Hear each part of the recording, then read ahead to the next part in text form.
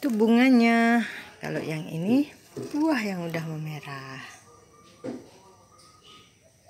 Tapi saya nggak tahu apa nama tanaman ini. Saya nanam ini tertarik.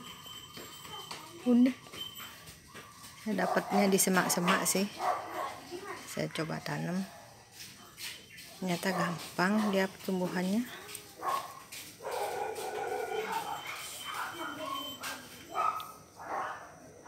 kalau anda tahu namanya tolong kasih tahu saya ya.